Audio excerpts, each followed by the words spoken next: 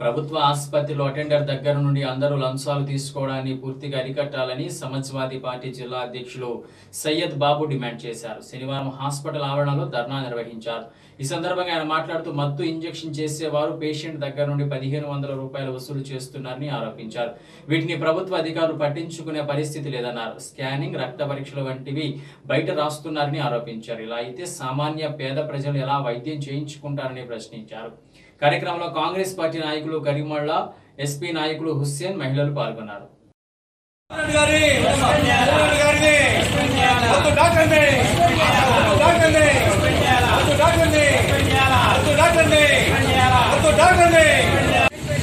అంటే అవినీతి అంటే ఎనిమిది నెలల నుంచి స్కానింగ్ లేదు సంవత్సరం నుంచి ఎక్సరే లేదు. ఇదొకటి ఈ వత్తు డాక్టర్ గారు డెలివరీ చేయాలంటే రెండు వేల రూపాయలు అడుగుతున్నాడు యాడ్ నుంచి తెచ్చిస్తారు వీళ్ళు పేదవాళ్ళు డెలివరీకి వర్తిస్తే రెండు వేలు లేదండి నీకెందుకు గవర్నమెంట్ హాస్పిటల్ ఎందుకు? దేనికంటున్నా గవర్నమెంట్ హాస్పిటల్? Private hospital? ఈ రకాల ఈ రకంగా లంచాలు అడుగుతుంటే నుంచి తీసుకొస్తారు పేద ప్రజలు. అయితే ఏమంటే గట్టి వెళ్తే వాళ్ళ మీద కేసులు పెట్టాడు అంటారు. ఏం కేసులు పెట్టరు మా మీద? అడిగితే తప్ప మేము? ఇది కరెక్ట్ అండి ఇది? ఇవన్నీ దేనికి? తొమ్మిది కోట్లు పెట్టి హాస్పిటల్ ఖర్చు పెట్టారు తొమ్మిది కోట్లు పెట్టి. మరి తొమ్మిది కోట్లు పెట్టి సరైన పరికరాలు ఉన్నాయి చూడండి మీరు అందరూ వచ్చి.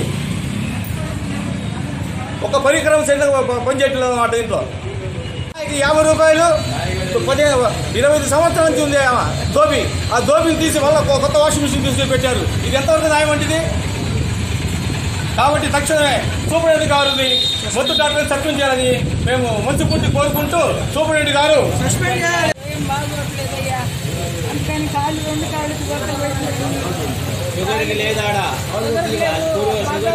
లేదు.